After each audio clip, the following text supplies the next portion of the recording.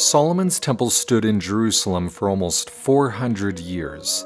It was the crown jewel of Jerusalem and the center of worship to the Lord. Almost half of the Old Testament writings took place during the time when Solomon's temple was still standing. Understanding the significance of its location, history, and design can greatly add to one's reverence for one of the most holy places in the world. The city of Jerusalem is located in an area of three major valleys the Hinnom, the Central or Tyropoeon, and the Kidron Valley. The mountain range between the Central and Kidron Valley is called Mount Moriah. The peak of the mountain is a large protruding flat rock, which is now located under the dome of the rock. According to Genesis 22 2, Abraham was commanded to sacrifice Isaac in the region of Moriah, connecting the Temple Mount with this significant event. At the time of King David, the area of Jerusalem was controlled by the Jebusites, the city only occupying the southern part of the central ridge. When David captured the city in about 1000 BC, he made Jerusalem his capital. David then moved the Ark of the Covenant to Jerusalem and began preparations for building a permanent structure to replace the portable tabernacle of Moses that had been used for over 400 years. With the ancient city of Jerusalem being fairly small, David purchased the threshing floor of Araunah the Jebusite so he could expand the size of the city being higher than the city of David, the hilltop would make a beautiful place to build the temple of the Lord. Under the reign of David's son, King Solomon, the temple construction began. After seven years of construction in about 960 BC, Solomon finished building the temple, most likely built over this same protruding rock of Mount Moriah. Solomon also built himself a new palace just south of the temple and expanded the walls of the city up towards the peak of Mount Moriah. The Temple of Solomon was modeled after the Tabernacle of Moses. Because of the many similarities between the tabernacle and the Garden of Eden, many scholars believe that the Garden of Eden was the prototype for the tabernacle, and thus later temples. According to Jewish tradition, Eden was located on a hill, with the tree of life and the tree of knowledge of good and evil at the center of the hill. The Bible teaches that when Adam and Eve transgressed and partook of the forbidden fruit, they were cast out towards the east. Cherubim and a flaming sword were then placed at the east entrance to prevent them from partaking of the tree of life, as they would then live forever in their sin. In order to return back into the presence of God, Israel had to symbolically retrace the steps of Adam and Eve, passing the cherubim and re entering the garden in a westward direction. The tabernacle was set up in the same east to west progression, seeming to replicate the Garden of Eden. The tabernacle was divided into three main courts the outer court, the holy place, and the Holy of Holies. The outer court represented the fallen world, while the inner courts represented a more sacred and holier way of life. In essence, as the priest, who represented all of Israel, progressed through the tabernacle, or temple, he left the world to enter a more holy state, and then was enabled to re enter the presence of the Lord, passing the angels, or cherubim who were embroidered on the veil. Solomon's temple replicated this same three level progression, doubling the floor plan size of the tabernacle sanctuary for the temple structure. As one approached the Temple of Solomon, the first thing noticed was the brazen altar of sacrifice.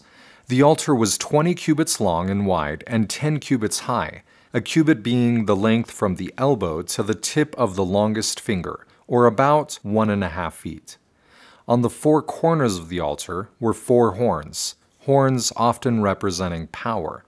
This is where the sacrificial animals were burned, representing the future sacrifice of the Savior Jesus Christ. On the southeast side of the temple was the molten or brazen sea, which rested on the backs of twelve oxen, three pointing in each of the cardinal directions. In ancient times, oxen represented strength, and the number 12 often represented the 12 tribes of Israel. Water from the larger brazen sea was poured into ten bronze water basins on both sides of the temple, which could then be wheeled around the outer court for various washing and cleansing rituals by the priests. Around the south, west, and north sides of the temple were three floors of chambers or storage rooms. The inside wall of the chambers was stepped so as to create a ledge where the timbers of the floors could rest. The storage rooms were accessed by a door on the south side of the temple, with wooden ladders going up into each of the floors. At the front of the temple were two large bronze pillars that flanked the porch. The pillar on the left was named Boaz, and the pillar on the right was named Yakin. The tops were decorated with lily flower petals and pomegranates. Pomegranates were a sign of prosperity and posterity because of their many seeds, and were also found on the bottom hem of the clothing of the high priest. The main temple doors were made of two large bifolding doors covered in gold with cherubim, palm trees, and open flowers. The Bible describes the doorframe as being a fourth part of the wall, which most scholars believe means that the door had four stepped frames. The interior doorway of the Holy of Holies was similar, except having five frames instead of four. The priests who represented Israel were the only ones allowed into the inner temple. This means that Israel only could enter through being represented by the priests.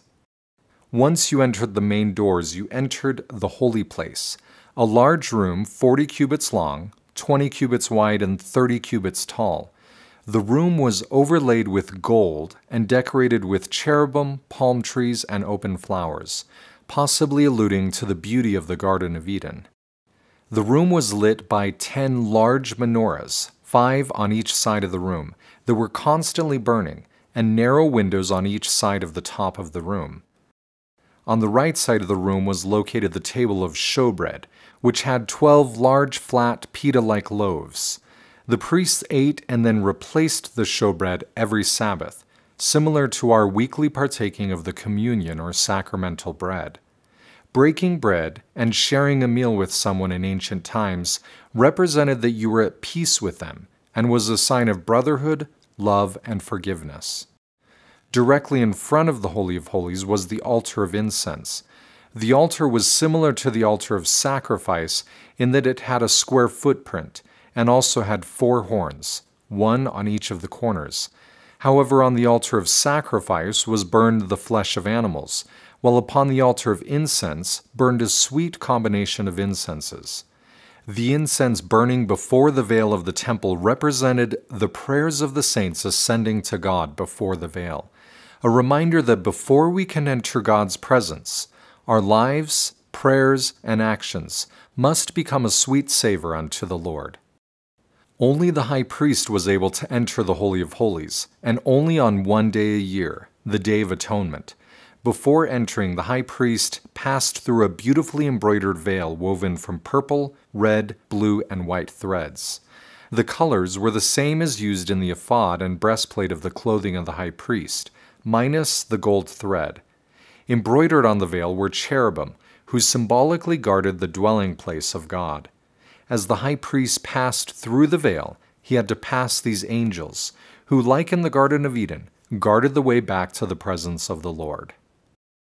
Upon entering the Holy of Holies, you would find that the room is in the shape of a perfect cube, being 20 cubits wide, long, and tall. The walls were likewise overlaid with gold and decorated with cherubim, palm trees, and open flowers. Two large cherubim flanked the Ark of the Covenant, which was in the center of the room, with their wings stretching from one side of the room to the other. This room is where the presence of the Lord would dwell and represented the final goal and destiny of all Israel. Solomon's temple was not only a landmark for the city of Jerusalem, but more importantly, the dwelling place of the Lord. The layout represented Israel's progression back into God's presence and was designed to teach Israel that it was only through the infinite sacrifice of the sinless Messiah that they could once again enjoy the presence of the Lord.